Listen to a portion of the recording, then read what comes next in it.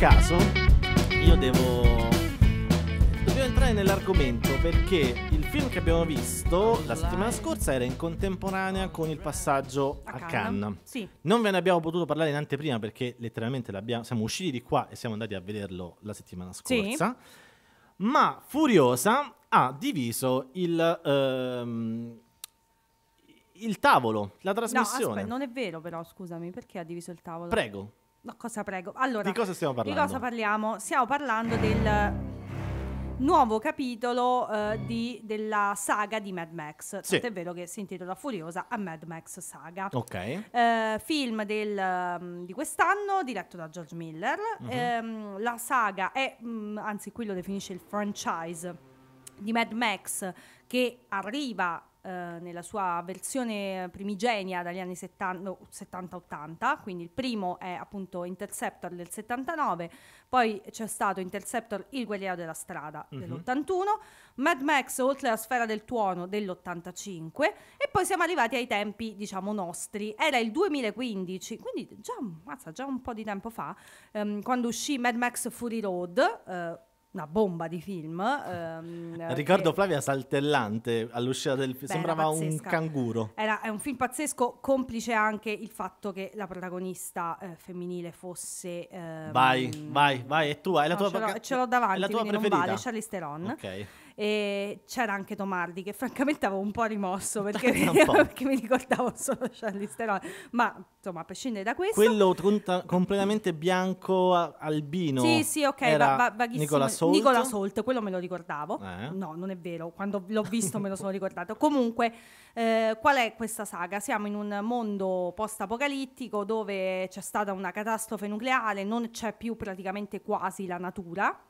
Eh, e le persone devono, è un po' tipo Gary il guerriero, cioè le persone devono Sì. sopravvivere, è proprio Sì. esattamente come Gary il guerriero. Chissà qual è il collegamento. C'è un fra- collegamento. Ah, immagino di sì. sì. Comunque, fatto sta che ehm, il mondo, le- gli esseri umani devono sopravvivere contro questa natu- natura praticamente ostile, cioè il fatto che ci sia pochissima acqua, eh, che non ci siano, che sia molto difficile procurarsi del cibo, della benzina e questo ovviamente polarizza gli esseri umani che diventano molto cattivi Mhm. e cercano di accentrare il più possibile il potere nelle proprie mani per poter gestire le poche risorse. Nella Questo fantascienza, eh, senso, con eh. questo è nella fantascienza. Sì, esatto. Non succede nella Ehm. Ovviamente in questa, eh, con questa cornice ci sono poi dei personaggi, dei personaggi diciamo più specificamente cattivi, dei personaggi più sfumati nelle, nelle loro eh, dimostrazioni. Fatto sta che anche quelli più buoni comunque devono scendere a patti col fatto che il mondo è un mondo violento e quindi devono anche eh, diciamo eh, commettere della violenza, no? essere a loro volta violenti,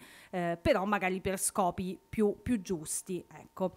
Cosa succede con Furiosa? Siamo in un eh, prequel, Sì, diciamo. siamo prima del primo film perché si parla Prima no, del primo addirittura, no, No, no, prima del vero. film precedente, Prima cioè di prima Fury di Road. Fury Road. perché si Eh, racconta la storia proprio di Furiosa. Esatto, la storia è quella di Furiosa, che è questa ehm, protagonista femminile, interpretata appunto nel, nel film Ma- Mad Max Fury Road da Charlize Theron. In questo caso la vediamo dalla sua infanzia a diciamo una sorta di mh, eh, giovane età, Sì. mh, giovane adultità, Interpretata da Alila Brownie, molto brava. la bambina. Molto brava. Prima a- eh, eh, questa qui, e eh, a, sì, a Laila Brown Alaila. sarà probabilmente, e poi eh, Anya Taylor-Joy eh, che la fa da più grande. Sì.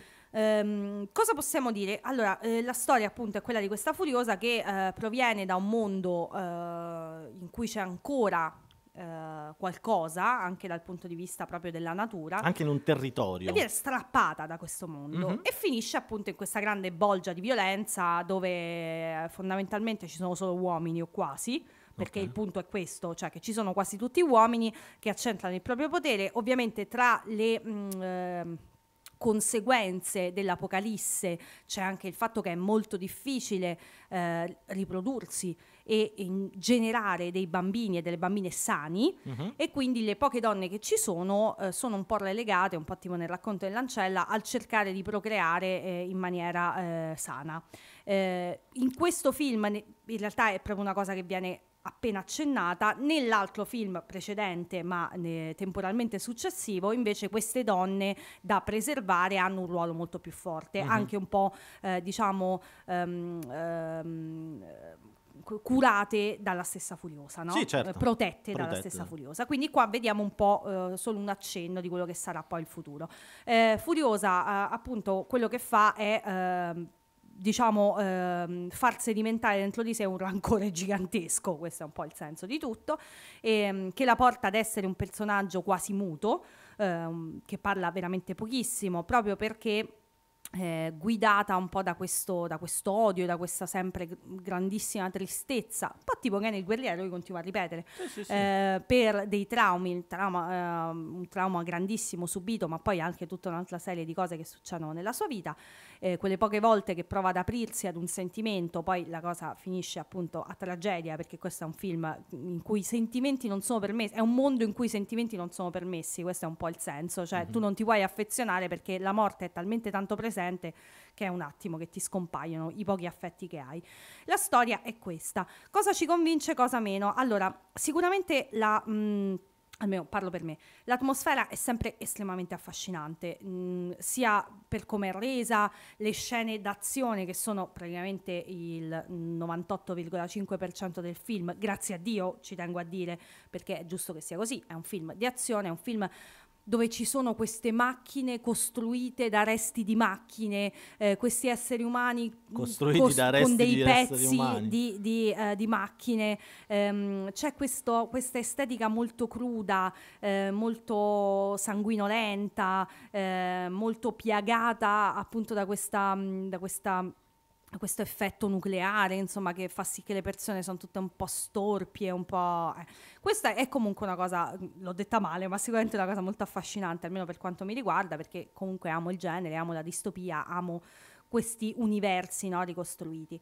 Cosa non mi ha convinto? Ehm, l'ho trovato francamente, eh, ci- sono delle parti che forse avrei tolto, cioè l'avrei accorciato un po', Mhm. perché ehm, è un film in cui tra l'altro credo che ci siano, eh, se, se dovessimo diciamo, segnare le pagine di dialogo, saranno 20, 20, forse a dire sì. tanto, che non è necessariamente un male, perché No. è chiaro che tu vuoi parlare tramite le immagini, vuoi parlare tramite le espressioni. Allora, partiamo dal fatto che non so se sono convintissima da Anya Taylor-Joy. Ok. L'ho trovata, è vero che lei deve essere fredda, è vero che lei deve essere un po' monoespressiva, però forse too much, Mhm. troppo fissa. Mm-hmm. L'ho trovata un po' troppo fissa in questa cosa. Tro- interessante Chris Hemsworth che probabilmente qui fa la performance per ora Della vita. della vita, Sì. eh, perché calca un- in un personaggio di cattivo folle, la- il genere cattivo matto, Joker. che tu non ti... mm, Sì, ovviamente non con gli stessi risultati di... eh. Di Di? Phoenix no, Joaquin Phoenix eh, o non- Jack non- Nicholson? no, O- però vabbè diciamo che comunque più di quanto ti aspetteresti da Chris Hemsworth almeno per quanto mi riguarda quindi ci può stare ci può stare Lui interpreta Dementus. Dementus che già insomma racconta un po' del, del personaggio ehm, è un film che eh, forse perché mi aspettavo una proprio di essere colpita in pieno viso con molta più forza invece mi ha lasciata un po' tiepida Mhm. Allora, intanto il- c'è un problema. Ah, innanzitutto eh, si è eh, scaricata la, la mia telecamera, ma questo poco importa. Il film è stato al momento visto da 99.524 persone, ma vorrei far strappare completamente la regola dicendo che il- vi porto la mia esperienza, perché io mi sono addormentato in sala. ok vabbè questo forse è too much Questo Non sì, so. anche chi se ne frega. Vi no sento... nel senso che non è Però- proprio un film da sonno Non è proprio un film da sonno, No. però io mi sono andata addormentato. Ero stanco, boh, forse. Eh, però, appunto, le- la parte che Flavia diceva eh, si poteva accorciare, io Mm. effettivamente l'ho accorciata Mm. perché mi è caduta la palpebra e. eh, quindi io sono apertissimo a ricevere tutte le, eh, le critiche costruttive, specialmente dopo aver visto il film e non dopo essersi fermati al titolo della, della recensione, però effettivamente bisogna ra- eh, registrare il fatto che Mad Fu- Fury Road non permetteva questa reazione in assoluto, era proprio impossibile, era forse anche stato Sì. Progettato, montato, scritto, diretto, colorato, musicato, sempre da quel folle di Junkie XL che sta sotto la nostra voce. Qui in maniera moderata, ma poi sentirete, ritorna anche il chitarrista folle che lancia i- il fuoco dalla, dalla paletta, poco.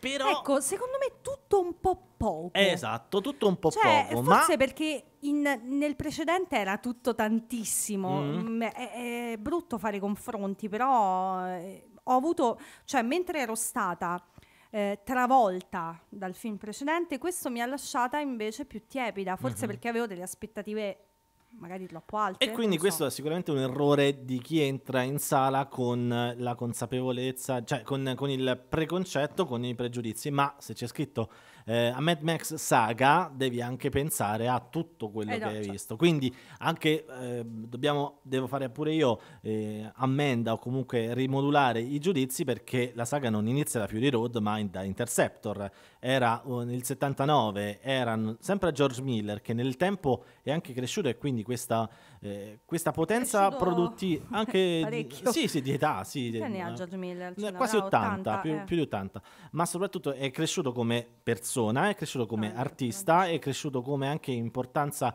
eh, produttiva e quindi anche come libertà di creazione. La libertà presa, eh, anzi ehm, vista e eh, vissuta da, da- durante questo Furiosa, Furiosa è tale da apprezzare moltissimo la, eh, gli spazi che sono stati lasciati a George Miller, letteralmente le praterie di creatività e quindi appunto la creatività impiegata nel creare lo scenario, creare gli, Guarda, è gli tutto spazi, gli strumenti. nell'estetica, è, È tutto, tutto estetica. nell'estetica che in questo caso funziona e va bene che sia così. Eh, diciamo, forse ne eh, un po' la trama ehm, diventa un accessorio no? Mhm. rispetto a questo, nel senso che uno si, si concentra su- sul vedere che vette può raggiungere la desolazione di un mondo e che vette può raggiungere anche la cattiveria umana e credo che questo sia un po' il senso di questo film, no? di, di Mm. questa saga, anche un Allora- po' riflettere a cosa ehm, spinge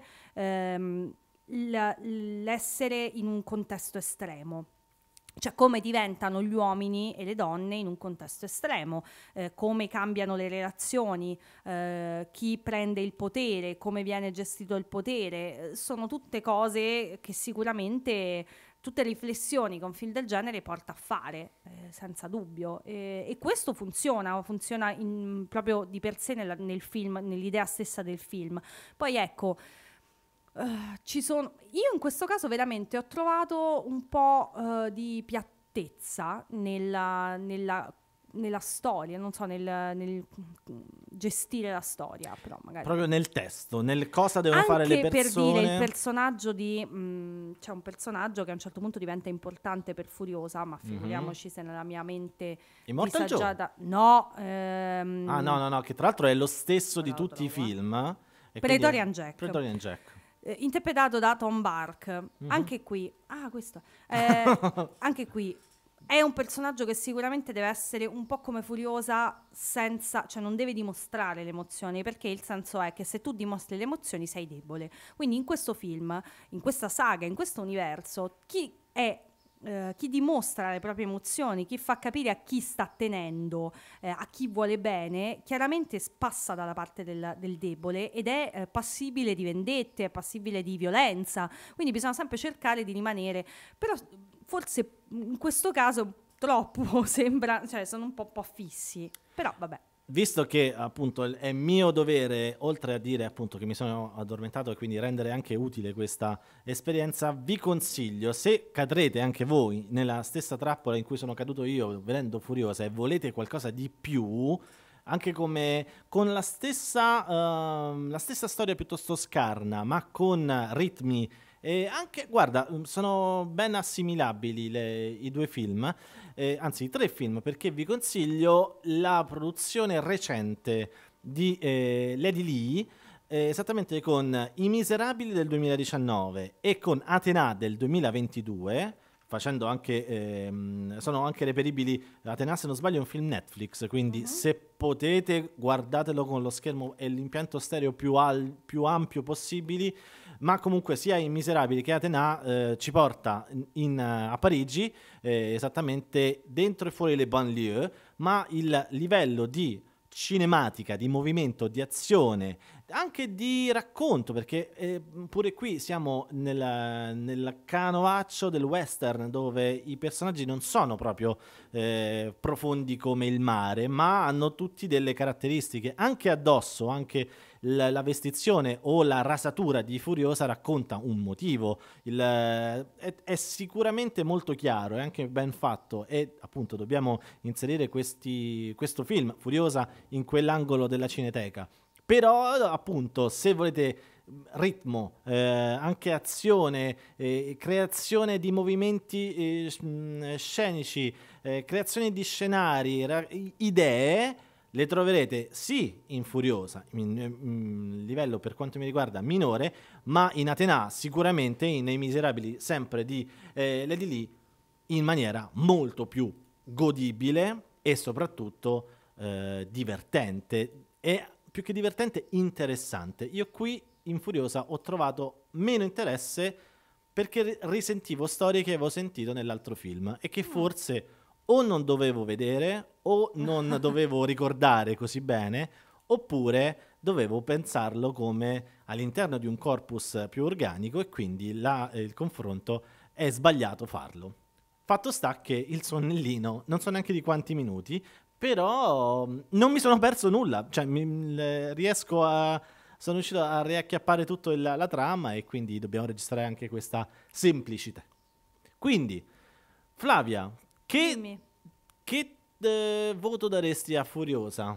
È Mad Max Saga, tra l'altro appunto presentato fuori concorso a Cannes. Ma dai, 7. 7? Sì, Io sì, almeno 7. Invece in quinti io ho dato, ci... ah, quinti, ho dato tre stelline su tre, Letterboxd. Tre e mezzo, dai. Ok, va bene, quindi non, più di tanto non ci siamo discostati. Quindi appunto, più di tanto anche con il sonnellino in mezzo la differenza non c'è stata. Andiamo avanti in musica con le Slate Bells con Riot Rhymes.